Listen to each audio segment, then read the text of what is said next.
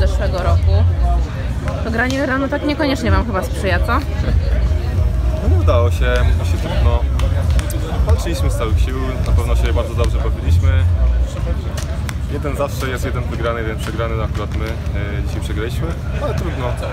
Teraz musimy się skupić na, na przygotowaniach do sezonu i kolejne cele przed nami.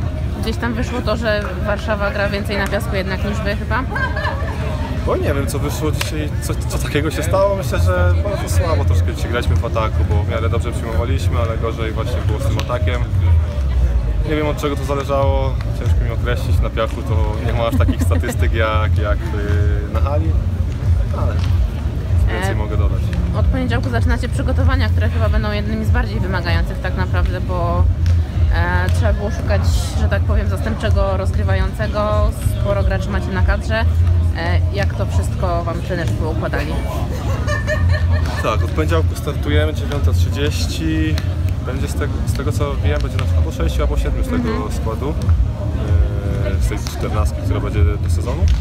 Ale takie sytuacje się zdarzają, musimy sobie z tym radzić. E, Cały plan mamy przygotowany już na dwa tygodnie na razie, a później, później będzie w trakcie. No nic, ale na początku najważniejsze to poczuć piłkę i budować się na siłowni, także to jest ten cel myślę, że na ten pierwszy miesiąc, trzy tygodnie. A później to już granie, ale te granie będzie właśnie wyglądać tak, że będziemy bardzo dużo zawodników nie z naszej drużyny. No ale musimy jakoś się do tego przygotować, musimy sobie z tym poradzić. Z tego co wiem, to chłopaki będą przyjeżdżać albo tydzień, albo dwa tygodnie przed rozpoczęciem sezonu, także czasu będzie mało, ale no, będziemy się starać przygotować jak najlepiej do sezonu.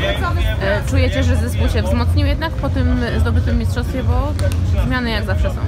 Myślę, że każdy zespół który się wzmocnił, dobre transfery, cały, cała liga zrobiła, także myślę, że liga będzie jeszcze bardziej wyrównana niż rok temu i tak naprawdę nie wiadomo, nie wiadomo na kogo co stać, ale myślę, że my czujemy się mocni, jesteśmy mocni i mam nadzieję, że, że cel jest wiadomy. Dzięki wielkie. Dzięki bardzo.